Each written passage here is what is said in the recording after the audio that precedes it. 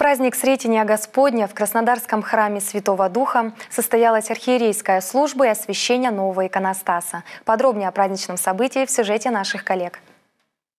Совсем неожиданно в Краснодаре в ночь на Сретение Господне выпал снег. Весь город укрылся белыми чистыми одеждами.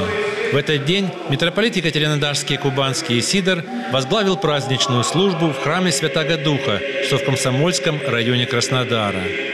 Настоятель храма сего, протеерей Сергий Лопасов, пригласил владыку еще и для того, чтобы он лично осветил новый иконостас.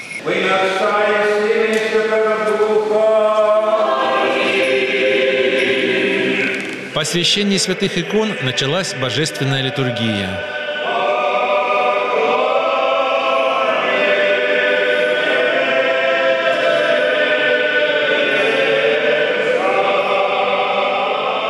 Праздник Сретения Господня церковь отмечает нынче и второй – День православной молодежи. По этому случаю настоятель отец Сергий Лопасов зачитал письмо святейшего патриарха, обращенное к молодому поколению. Храм Святого Духа еще молодой. Главный предел освящен только в 2011 году.